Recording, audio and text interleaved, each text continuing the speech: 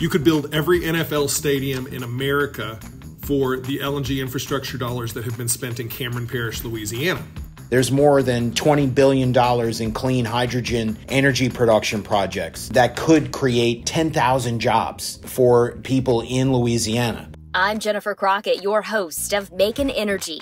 In season two, we focus on the future of energy in Louisiana you know, the opportunity for us to continue to build on the pioneering spirit that Louisiana has, that's just another avenue for us to continue to go down. You know, in that we're not trying to replace any kind of energy production. Discover how Louisiana is shaping energy opportunities, innovations, and sustainable solutions by investing tens of billions of dollars in our people, our products, and our future.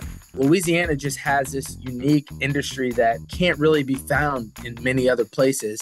That's this season on Makin' Energy. Listen Wednesdays starting October 16th, wherever you get your podcasts.